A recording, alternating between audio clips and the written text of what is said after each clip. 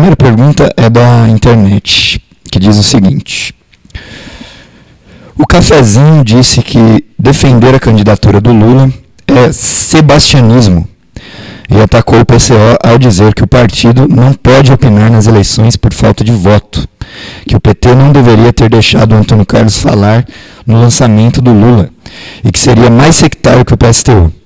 O que dizer disso?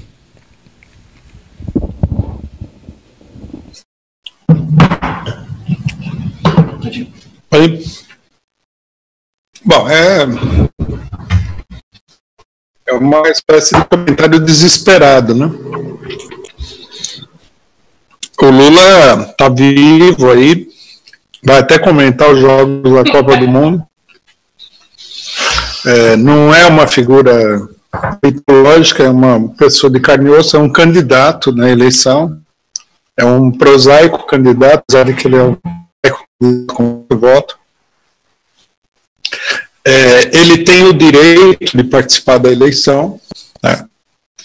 Uma coisa que a gente tem que afirmar sempre sobre isso é o seguinte: se você tem um direito, mas você se recusa antecipadamente a exercer direito, porque você vai ser atacado pela, pelos direitistas, pelos inimigos dos direitos democráticos do povo, então você não vale nada. Você não é nada na política, você é um zero à esquerda. É... Se o povo brasileiro pensasse dessa maneira, o Brasil seria uma coisa inimaginavelmente ruim. Porque ninguém sairia na rua para reivindicar o direito de greve que não tinha, o direito de manifestação que não tinha, o aumento de salário que não tinha, né? O, o que os trabalhadores sempre disseram em todas as lutas é: eu reivindico isso porque é um direito meu. O Lula tem o direito de ser candidato, direito legal, de legitimidade popular. Né? Saiu, é, é tão marcante essa situação que saiu uma declaração do Gilmar Mendes falando que esse é um paradoxo no Brasil, que uma pessoa condenada por corrupção esteja em primeiro lugar na eleição. E ele fala, nós fracassamos em alguma coisa. Não, eles fracassaram em tudo, eles fracassaram na tentativa de estrangular a vontade popular. Eles estão fracassando, né? Daí a importância de apoiar o Lula. Mesmo que eles cassem a candidatura dele, o, a questão é uma questão chave da luta política. Bom, quanto a que o PT deveria ter deixado o pessoal falar ou não no ato do PT, é um problema do PT. Eu acho que nós temos direito de falar no ato do PT, num certo sentido, né? Claro que quem decide é o PT, mas nós é, conquistamos esse direito defendendo a candidatura do Lula e a liberdade do Lula na primeira linha de todas as lutas que se travaram nesse sentido. O problema do, do cafezinho, né, embora não tenha vontade nenhuma de entrar numa polêmica direta, eles estão procurando provocar a polêmica, é que eles apoiam, eles, eles querem abrir mão de todos os seus direitos para encontrar um caminho fácil para a resolução dos problemas políticos, apoiando Ciro Gomes. É um partidarismo, aí no caso deles é um partidarismo extremado, porque todo mundo sabe, as declarações do Ciro Gomes assustaram até os próprios apoiadores do Ciro Gomes. Né? A última declaração de um assessor dele é que as refinarias brasileiras teriam que ser entregues, todas elas. Eu acho que com esse tipo de posição, não faz sentido nenhum votar no Ciro Gomes. É, é mais do que óbvio nessa altura dos acontecimentos que nós estamos diante do, do lobo em pele de cordeiro. E olha que essa pele de cordeiro é bem pequenininha, nem dá para disfarçar direito o aspecto de lobo do, do nosso amigo Ciro Gomes.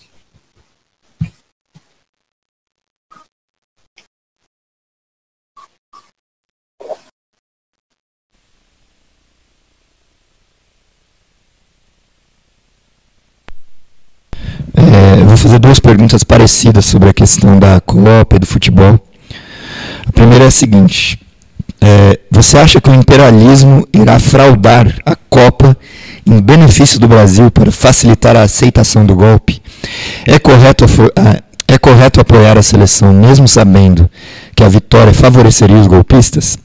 E a outra é a seguinte: tudo bem gostar de futebol, mas como torcer para a CBF de Temer na Copa fraudada e com Neymar sonegador?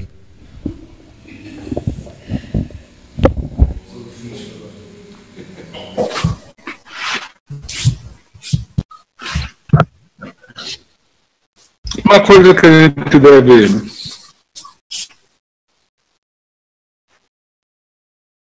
considerar antes de tudo é que no capitalismo tudo é podre. Fazer o comentário de que o, a situação do futebol é meio que ocultar que a situação em outras áreas é ainda mais todo lugar onde há movimentação de dinheiro, há podridão, porque a burguesia está tá envolvida. E a burguesia, de um modo geral, apesar de todos os discursos melosos que se faz aí sobre a, o setor produtivo e sei lá mais o que, ela é toda composta de especuladores e ladrões. Né? Todo mundo sabe que é uma classe social de criminosos, não é? A gente vê a ação desse pessoal.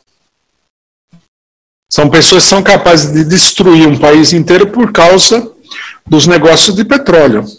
Isso daí já é suficiente para a gente saber com quem que a gente está lidando. Na medida que a burguesia se apodera das instituições do futebol, que onde tem muito dinheiro, ela procura perverter ao máximo aquela atividade, assim como ela faz também com a arte. O mercado mundial de arte é um mercado totalmente pervertido também pela burguesia. Não vamos imaginar que não seja assim. O que fala do cinema, que é dominado pelos monopólios norte-americanos, tudo é assim. O mercado editorial também. O mercado editorial é dominado aí por uma, uma máfia de capitalistas. É, a saúde, a educação, tudo. Não existe nada que é puro, belo e que esteja é, completamente imune à imundície capitalista. Então, o futebol, nesse sentido, não tem nenhuma especificidade, é mais uma coisa que as pessoas gostam e que está dominado pelos capitalistas. Agora, nós temos que, logicamente, que nós somos obrigados a viver no mundo tal como ele é, e nós somos obrigados a intervir aí com uma posição própria. Torcer pela seleção brasileira é uma coisa. Apoiar a cartolagem da, da Confederação Brasileira de Futebol é outra totalmente diferente. Nós, por exemplo, nós seríamos favoráveis a que a, a Confederação Brasileira de Futebol fosse estatal e controlada por setores populares. É a mesma coisa com a Petrobras. A Petrobras, é, nós gostaríamos que ela fosse 100% estatal, o petróleo todo fosse controlado pelo povo.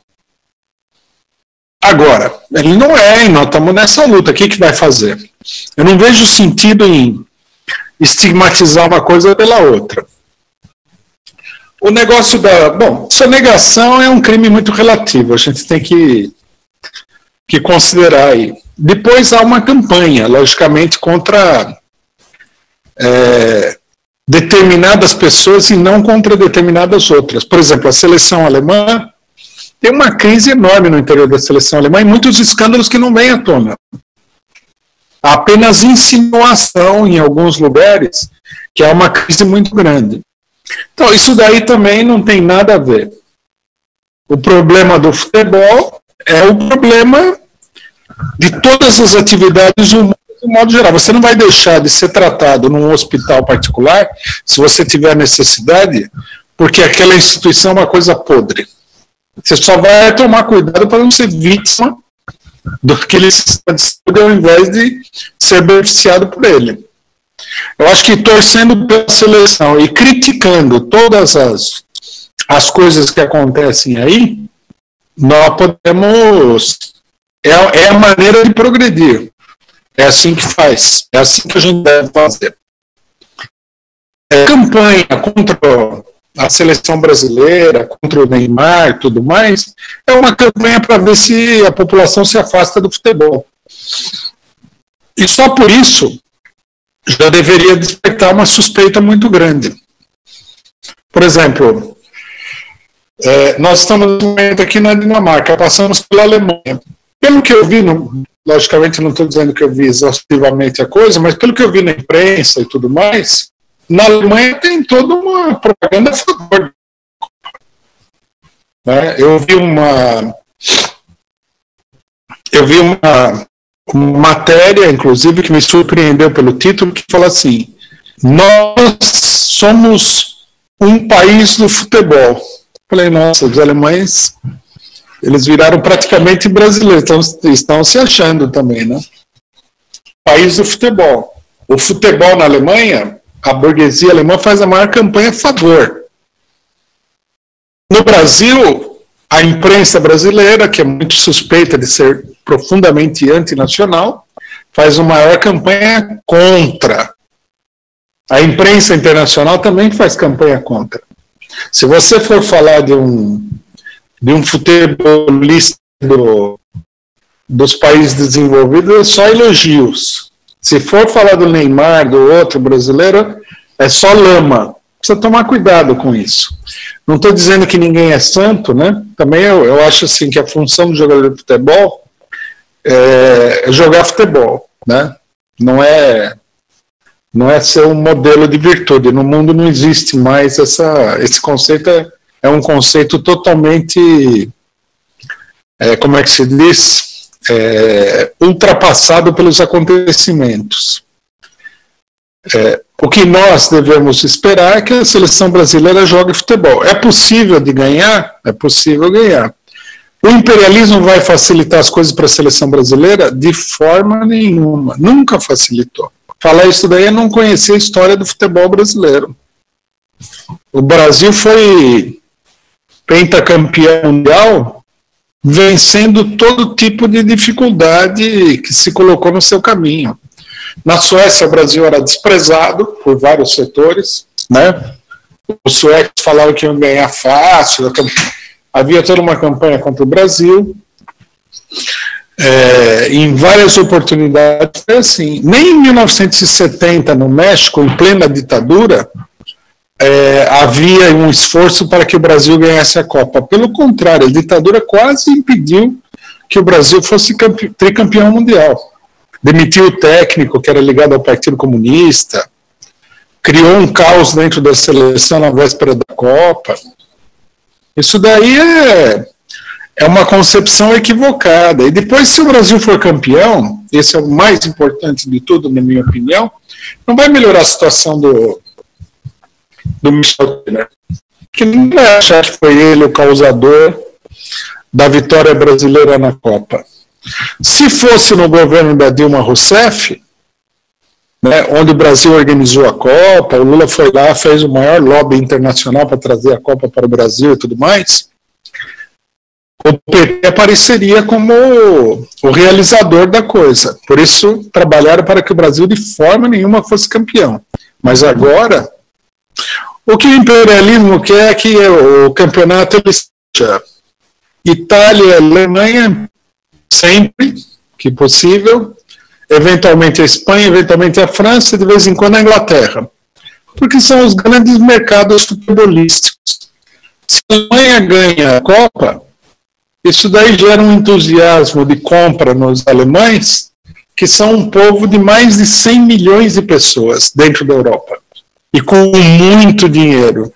Cada alemão deve ter aí 50 vezes mais dinheiro do que cada brasileiro. Então, no Brasil, por exemplo, se o, se o Brasil ganha a Copa, o brasileiro vai falsificar a camisa da seleção e vender baratinho, porque o povo não tem dinheiro. Na Alemanha, o, o alemão, o loirinho, vai lá no, na loja vai comprar a camisa de 300 reais e tudo mais. Precisa entender essas realidades.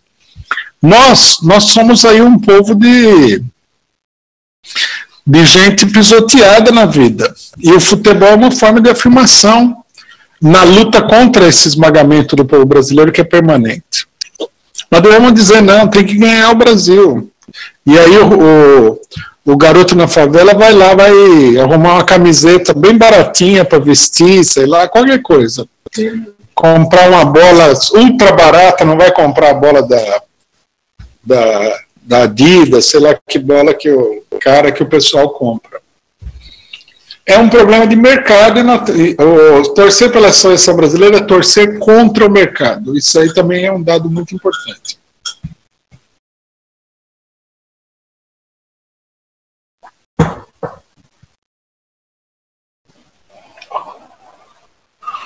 Pode responder. Pode. Quer dizer, conta cinco segundos só para Vamos lá.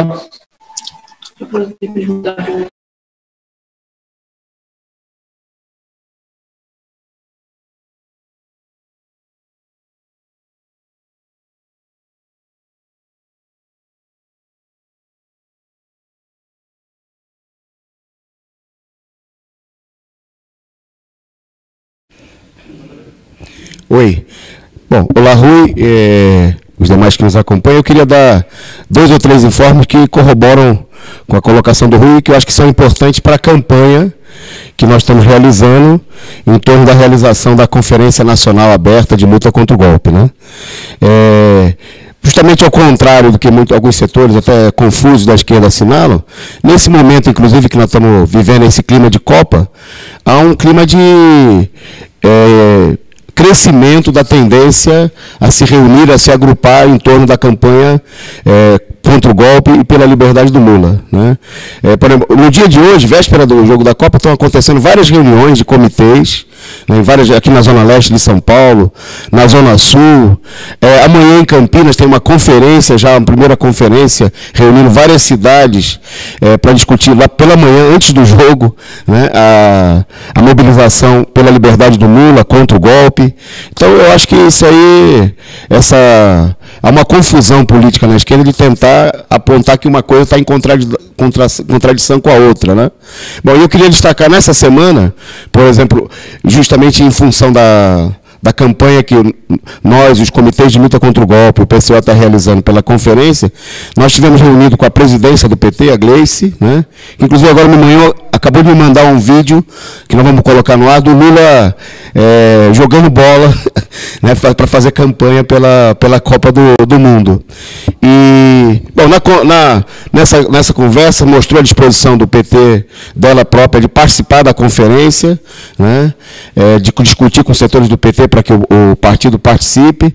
Nós tivemos reunido com a presidência da CUT, tivemos uma conversa, vamos fazer uma reunião nos próximos dias com o companheiro Wagner, que essa semana, inclusive, esteve, esteve com Lula mais uma vez e reafirmou a decisão do Lula é, contra essa política abutre, reafirmou a colocação de que ele só não é candidato se morrer. Né? E quer dizer que o Lula vai, pode contar que ele vai entrar em campo. Nós tivemos reunido com a direção da Confederação Nacional dos Bancários, a companheira Gilvândia, presidente, que vai participar da conferência aberta, numa reunião do Conselho de Representantes da POSP, o maior sindicato do país da América Latina. Foi votado o apoio dos professores, a, a participação na Conferência Nacional é, contra o Golpe. Então, essa ideia é, queria só colocar esse exemplo para destacar o problema que o, não está em contradição, né? e ao mesmo tempo, é, esses comitês, por exemplo, contra o golpe, estão organizando, né, em todo o país, nós, o PCO, os comitês estão organizando para o pessoal se reunir e assistir o jogo, torcer pelo Brasil e ao mesmo tempo distribuir o material da campanha contra a, é, pela liberdade do Lula, é, contra o golpe, etc. E tal. Quer dizer, eu acho que essa reforçar o que o companheiro Rui disse, que não há nenhuma contradição, pelo contrário, né? A gente viu isso no carnaval, né? Porque havia um discurso do, da esquerda de que o carnaval também era uma forma de alienação, etc. E, tal, e o carnaval aconteceu nesse ano, em outros momentos, que o carnaval foi usado pela população né, é, para fazer uma grande manifestação contra o governo, né, é, até nas escolas de samba do Rio de Janeiro, que é o, um dos principais palcos do maior espetáculo do carnaval, a escola que foi campeã na, na vontade popular, né, Paraíso Tuiuti, atacou diretamente o golpe, atacou diretamente o, o governo do vampiro Michel Temer. Então nós estamos vendo também que nesse problema da, da Copa está colocada, pelo contrário, que é uma coisa que a, a esquerda tem dificuldade de ver, a possibilidade de uma grande mobilização mobilização, né? É, pela liberdade do Lula, que é um grande torcedor da, da seleção brasileira, além de ser um, um dirigente popular. Então, acho que nós temos que. Há um clima de aproveitar isso daí. Né? Até, por exemplo, nessa semana houve encontros da, ainda do Congresso do Povo, que está, infelizmente, é, para ser adiado para depois das eleições. E aí também se discutiu o problema da, da Copa, de organizar agitações, panfletagem durante os próximos dias. Quer dizer, dá a impressão, inclusive, queria que o clima que o pessoal, que a direita tenta colocar, meio de é, esfriar a situação por conta da Copa do Mundo, isso aí parece que não vai dar muito certo. Eu acho que nós vamos ter aqui um movimento parecido com o do Carnaval, que há uma tendência que o povo se reúna, que além de discutir os resultados dos jogos e o, o triunfo da seleção brasileira, vai discutir também o problema que o Lula é o candidato, de que tem que acabar com esse governo que já está é, morto e precisa ser enterrado. Né? Então eu acho que não tem essa contradição. E a gente está vendo, inclusive, que isso aí, por último, está né, tá provocando até uma pressão sobre a própria, os setores da esquerda. O, a, o posicionamento da setores da direção do PT, da CUT, né, é, em favor da, da conferência de luta contra o golpe, eu acho que tem uma, um clima de pressão popular que vem também da situação, logicamente com descontentamento do governo, mas da situação do Copa, da Copa, em favor da, da mobilização.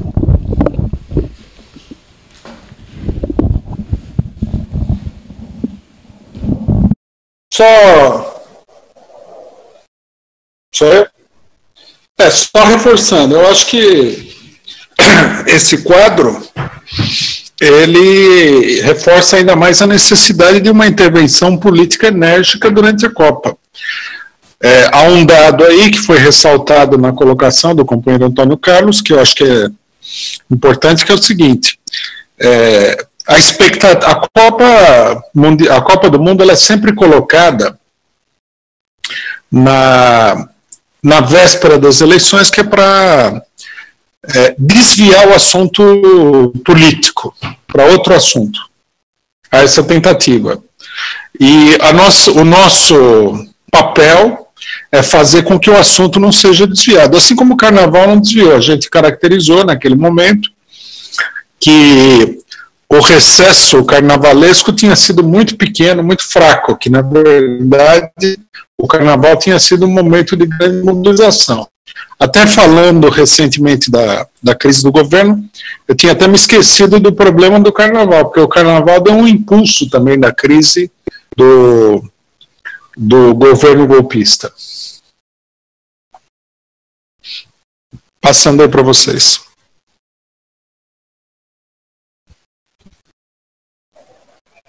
Internet.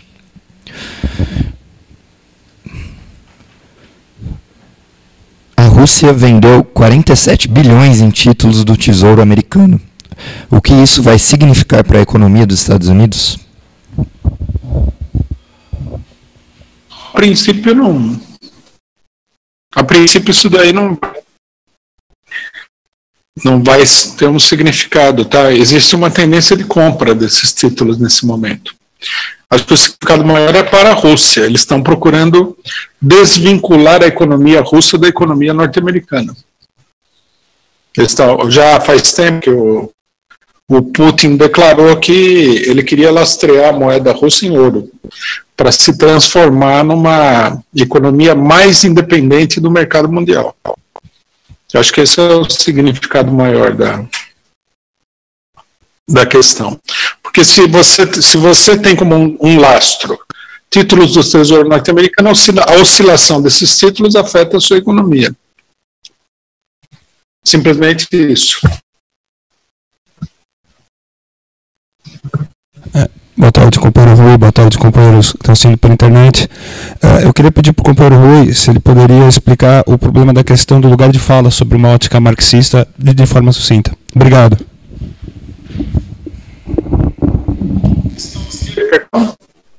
Eu não captei.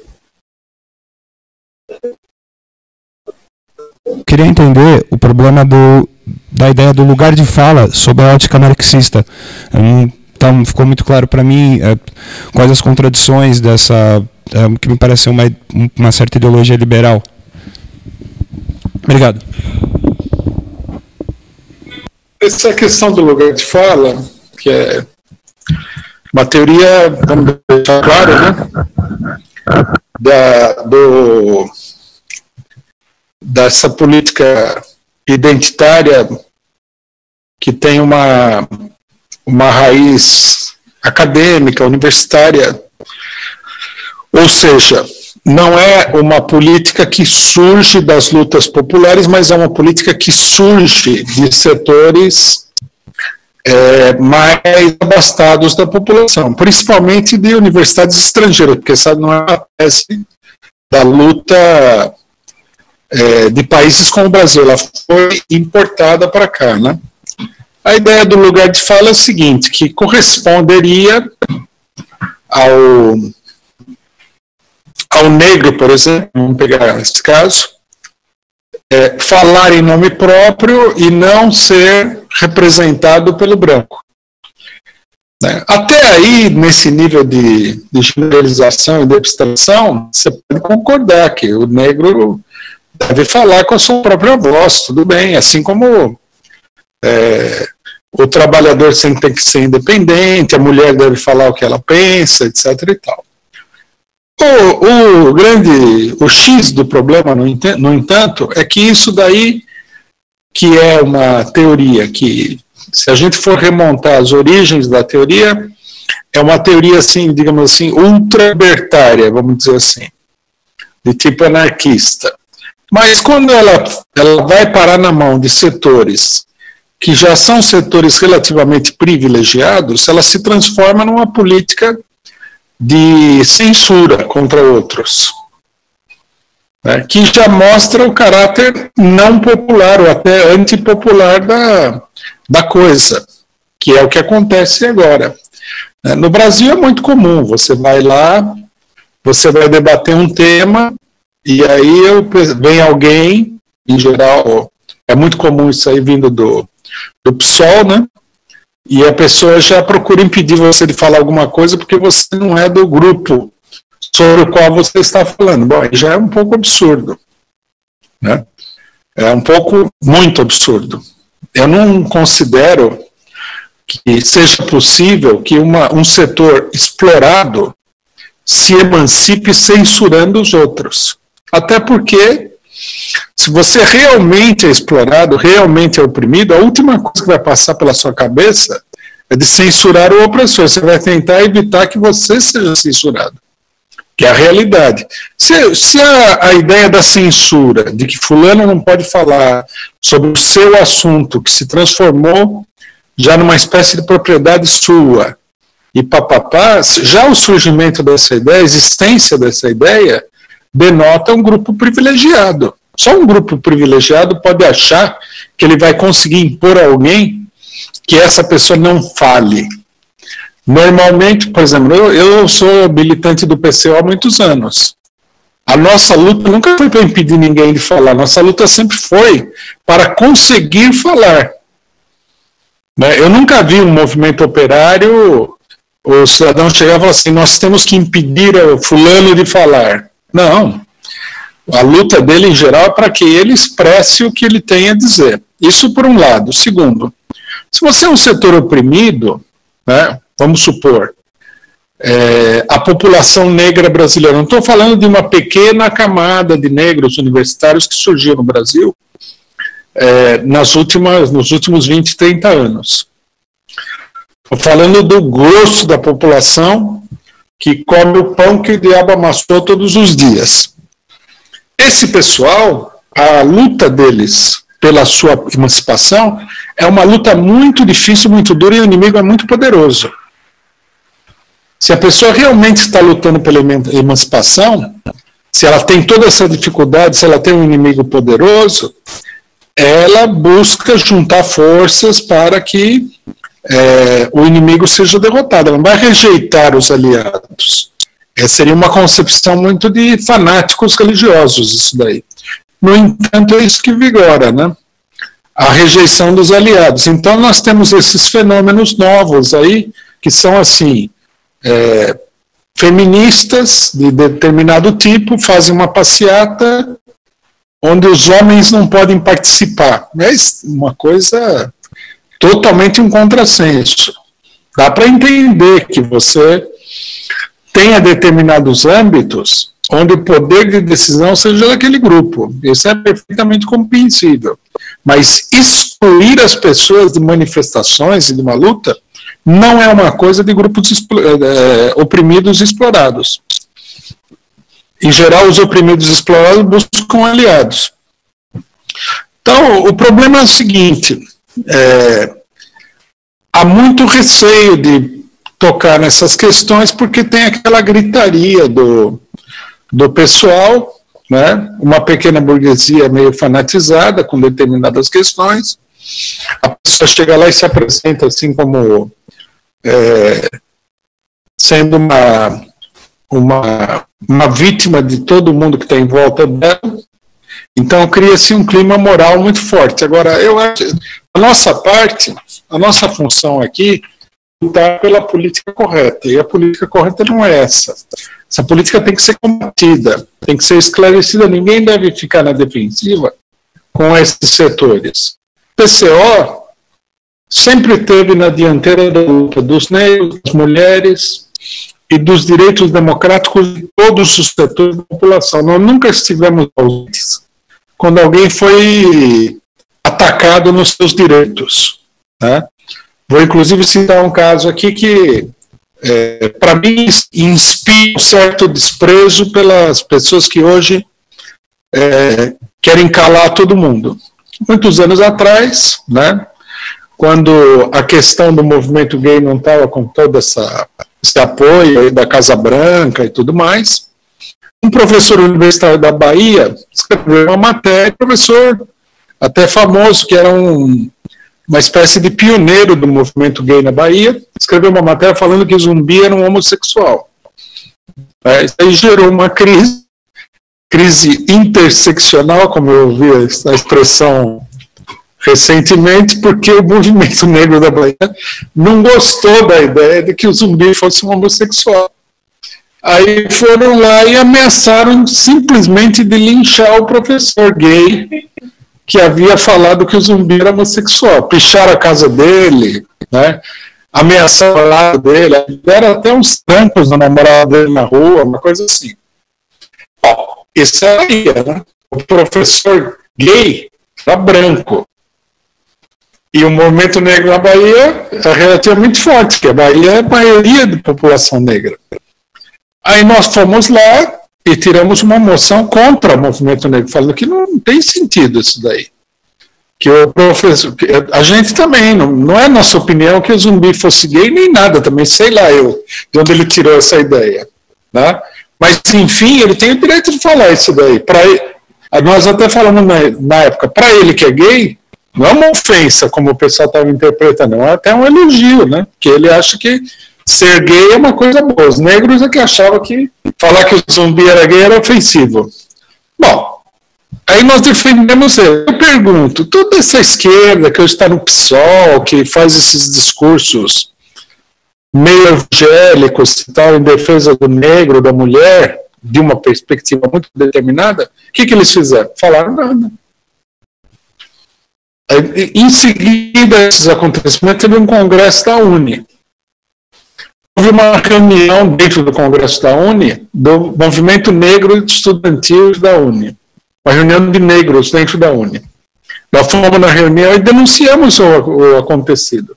Que não podia agir assim, tinha que o homossexual é minoria, tem que defender o direito dele, tem que defender o direito dele se expressar e tal. Vou dizer para vocês, nós ficamos totalmente na solidão com essa defesa do, do professor negro. E essa não foi a única oportunidade. Professor gay, perdão, atacado, infelizmente, pelo movimento negro, que numa posição equivocada. Nós não atacamos o movimento negro falando que era fascista nem nada, nós simplesmente nos colocamos contra a posição deles. Porque nós entendemos também que é uma, mais é uma confusão que aconteceu do que uma, uma opressão vinda de cima e tal, esse tipo de coisa. Isso daí aconteceu várias vezes. Eu vi mulher sendo espancada e muito esquerdista que hoje assim é o o maior defensor da mulher falou para a gente assim, mas o que, que ela fez para apanhar? Falei, bom, você precisa saber o que ela fez para Quer dizer que dependendo do que ela fez, você podia espancar a mulher. Isso aí aconteceu de monte na, na história do PCO. Eu vi isso daí, ó. Ah, as centenas de acontecimentos. Por isso também eu não levo muito a sério. O pessoal está nesse fanatismo, amanhã está. É, o caráter conservador do movimento toma conta aí, e a gente continua na luta em defesa de todos os oprimidos, todos os explorados, sem esse pessoal que está aí nesse. Sabe-se lá por quê, né? Eu também não. Em se tratando de movimentos de classe média alta e tudo mais, eu acho que a gente não deve depositar uma confiança absoluta nas, nos objetivos desse movimento, tem muita politicagem. O que eu sei é o seguinte, que o pessoal gosta de calar a sua boca. Mas eu acho que eu não estou disposto a calar minha boca, pra, nem para esses daí, nem para gente com muito mais bala na agulha do que eles, e nem o PCO. Então nós não vamos calar a boca, não vamos levar dentro a discussão, se eles quiserem fazer é, inferninho aí em torno do problema, pode fazer, né? a gente liga muito pouco, nós sabemos o que nós estamos fazendo, e eu acho que essa deve ser a posição de todo mundo. Não deve deixar que isso aí domine o movimento de luta em geral. Vamos lá.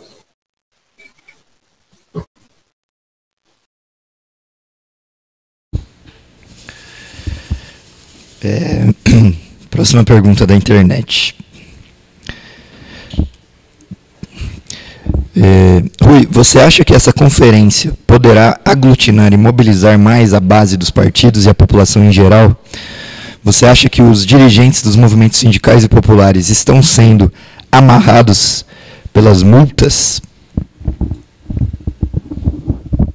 Duas, são duas coisas, né? A conferência já, pelos informes que a gente recebeu aqui, ela já está mobilizando. Já é, em si, já é uma realidade, já é um fator bastante positivo, bastante progressista na situação política brasileira. Vamos ver né, até onde a gente consegue ir com isso, mas que será um passo importante, que será uma vitória, eu não tenho dúvida nenhuma, eu acho que já é uma realidade. A questão das multas, aí nós temos um segundo problema. Eu acho que o movimento sindical teria que se, teria que se reunir e conscientemente tem que desafiar essa lei antigreve.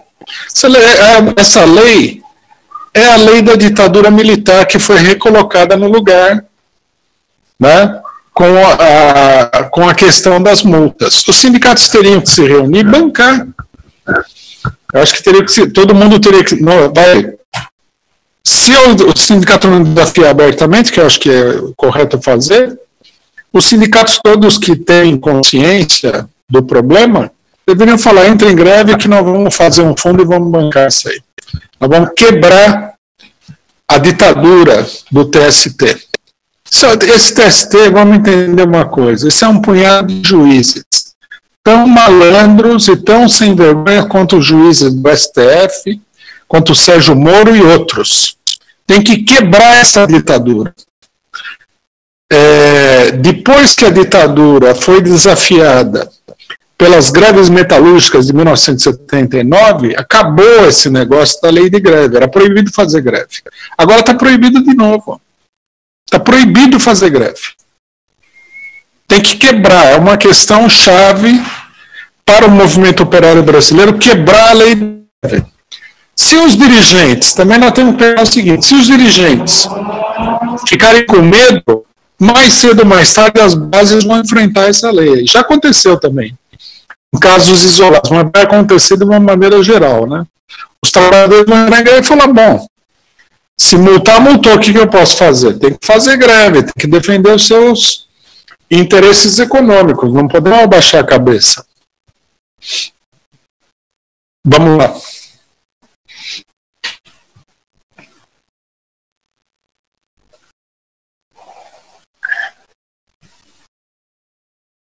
Próxima pergunta é a seguinte: Como mobilizar sem a ajuda dos sindicatos e partidos de esquerda, fora o PCO, o único que luta contra o golpe de fato, mas como mobilizar sem os demais. Mais de dois anos de um golpe arrasador e nada.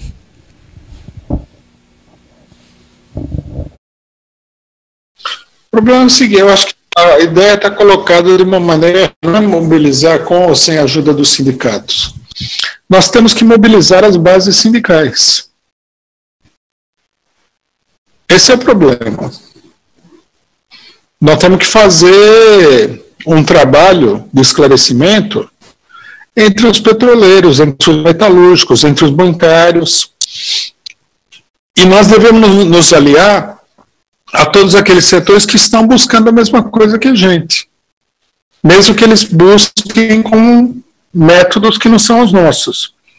Então, quer dizer, o sindicato, ele é a base. Se a base sindical se mobilizar, ela, ela que vai mobilizar o sindicato, porque a base sindical é o sindicato, em última instância. Também não adianta querer que uma direção sindical isoladamente faça nenhum milagre. Em alguns casos a direção sindical faz corpo mole, todo mundo vê isso aí. Em outros casos eles não têm o poder de mobilização, também tem isso. Não é porque eles estão na direção do sindicato que eles têm o poder de mobilizar a qualquer momento, a qualquer hora os trabalhadores. Não funciona desse jeito. Vamos lá?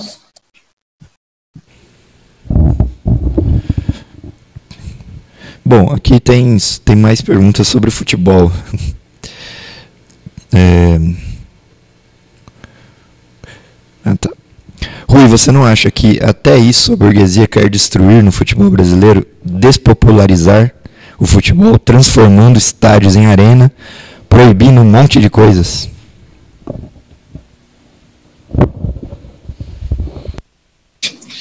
Mas eu queria colocar uma coisa que eu acho que é mais importante do que isso. Ao fazer isso, a burguesia transforma também o futebol num terreno onde se abre uma luta de classes. O povo quer ir ao estádio, a burguesia não quer que o povo vá ao estádio. Então você tem uma contradição que é potencialmente uma luta aberta. Nós temos que organizar essa luta, assim como a gente organiza a luta pelo aumento salarial, pelo direito é, da mulher, pelo, pela moradia popular ou qualquer outra reivindicação que a gente tenha. A gente tem que ver, nós temos que compreender as coisas de um ponto de vista ativo. Então, por exemplo, a reivindicação de diminuição do valor dos ingressos, nós temos que, nós temos que levantar a reivindicação de que a Rede Globo seja colocada para fora do, da questão esportiva, para que acabe esses jogos aí à meia-noite que eles fazem, porque serve o interesse deles, né? e assim por diante. Tem muita proposta aí que pode ser levantada, nós levantamos já um programa grande em relação ao futebol, que os clubes de futebol sejam controlados pelos próprios torcedores, e assim por diante. Tem que levantar um programa de luta e tem que lutar. É um terreno de luta da população contra os interesses capitalistas, contra o interesse do dinheiro.